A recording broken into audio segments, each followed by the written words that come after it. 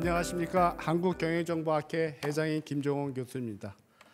오늘 우리 한국경영정보학회가 어, 사용중심 인공지능 포럼과 김성원 국회의원실과 본 세미나를 공동으로 개최하게 되어 매우 기쁩니다. 특히 우리 학계 디지털 자산 연구의 위원장인 최상미 교수님과 인공지능 연구의 위원장인 이경정 교수님이 본 세미나의 발표자와 토론자의 역할을 맡게 되어 학회장으로서 매우 자부심이 큽니다. 현재 금융범죄는 전 세계적으로 심각한 문제로 대두되고 있습니다.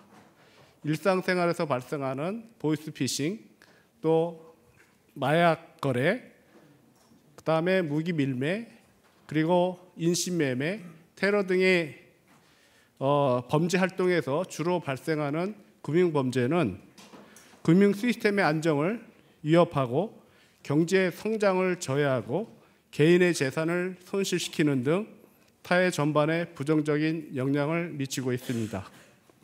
인공지능은 금융 범죄를 예방하고 금융 시스템의 안정을 강화하며 금융 서비스의 경쟁력을 높이는 데 중요한 역할을 할 수 있습니다. 즉, 금융 거래를 모니터링하고 이상 거래를 탐지하고 금융 사기를 방지하는 데 사용할 수 있습니다. 한국과 미국은 모두 인공지능 분야의 세계적인 선두 국가입니다. 양국은 인공지능 기술을 금융 분야에 적용하여 금융 범죄를 예방하고 금융 시스템의 안정을 강화하고 금융 서비스의 경쟁력을 높이기 위해 협력할 필요가 있습니다.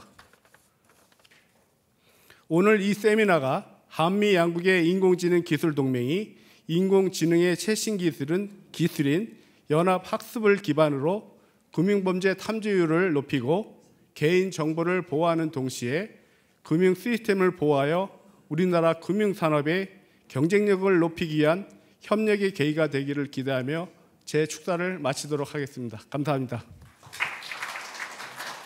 네,